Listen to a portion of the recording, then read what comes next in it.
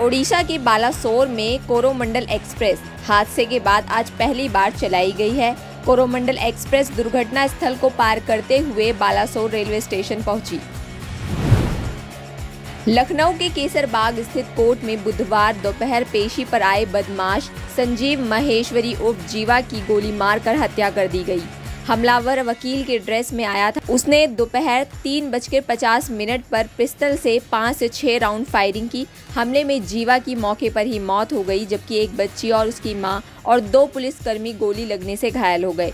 जीवा मुख्तार अंसारी गैंग का शूटर था। वारदात के बाद मौके से भाग रहे हमलावर को वकीलों ने पकड़ लिया। हमलावर का नाम विजय उर्फ़ आनंद यादव है। वह जौनपुर का रहने वाला है और उस पर आजमगढ़ और जौनपुर के मुकदमे दर्ज है।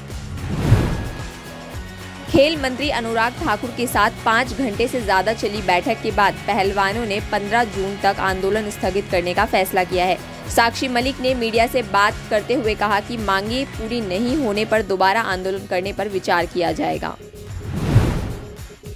जमुई पहुँचे चिराग पासवान ने बुधवार को पुल का ढांचा गिरने और विपक्षी एकता को लेकर मुख्यमंत्री नीतीश कुमार को घेरा और कहा कि नीतीश कुमार प्रधानमंत्री बनने के लिए जितना घूम रहे हैं, उतना अगर बिहार की जनता के लिए बाहर निकले होते तो शायद हालात कुछ और होते।